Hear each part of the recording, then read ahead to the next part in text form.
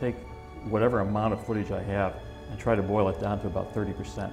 The thing is that you really don't know exactly how the footage is going to play in the cut. You just really have to, you know, watch every frame. Editing documentaries makes you fearless.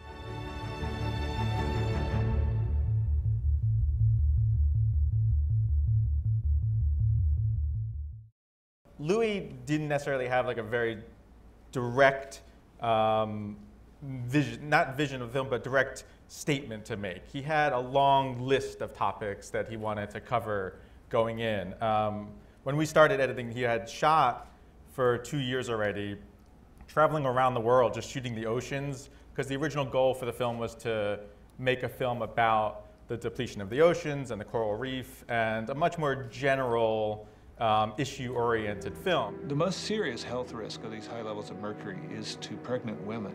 It's the fetus that's most sensitive to these levels of mercury. わしはこういうただけでももう腹渡が逃げ帰るようになります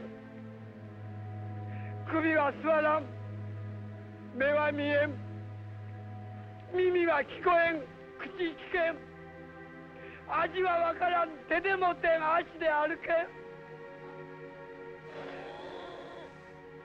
The children were starting to be born deformed. And it's going to happen again. By the time he discovered the story about Taiji, he had this long list of things like uh, mercury poisoning and um, the amount of fish that gets fed to livestock and um, how much uh, oxygen comes out of plankton and um, all these different little mini bits of information that he just wanted to have in a film of some sort. And luckily, he landed on this story in Taiji, um, but there was no real sort of central goal except to get all this information out. There was two parts to the mission. The first one was to get the auditory experience. Where can we drop a big housing spot like this with arms sticking out? It's going to snag in that. We could plant the hydrophones on the side of the lagoon that was easiest to get into. It's a lot easier going down the left side of the lagoon than the right side. The right side is right in the center of the Killing Cove. He edited this in Boulder, Colorado, and we would screen to people regularly, and there would be one screening where people would say, oh, the, the mercury poisoning and the buying of the votes and the, the way the government runs, all that stuff's great, but the mission's really kooky, so get rid of that. And then we would have other screenings where people would say, oh, the mission's really fun, but get rid of all that boring educational stuff. The dolphin meat is based on supply and demand like any other product. And if that product is poison and they can't sell it in Taiji, then they can't sell it in Iwate, they can't sell it in Okinawa, and they can't sell it wherever else they're selling it.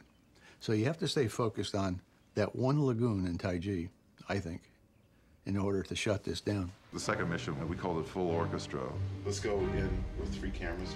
You're two, you're one, and think about a fourth. We would plant all the rocks, the hydrophones, underwater cameras. But it was just very, it's very hard to separate um, what you are thinking of when you're in the editing room or your knowledge of from the shooting or from what your original uh, vision or goal is in the film.